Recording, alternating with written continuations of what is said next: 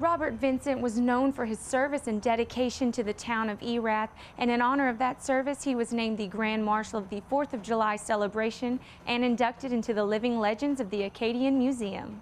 Sunday kicked off the first day of the week-long Erath 4th of July celebration. The festivities began with the presentation of the Grand Marshal. Colette LaCour, treasurer of the 4th of July Association, says this year's recipient is no stranger to hard work. He's a longtime public servant. He's on the city council, and in his uh, 36 years, he's done quite a bit for our community. Vincent has battled with muscular dystrophy for most of his life. Former governor of Louisiana Kathleen Babineaux Blanco says he never let his health issues keep him down. Robert Vincent is a jewel of a human being. He never let those health challenges come in the way of living his life to the fullest.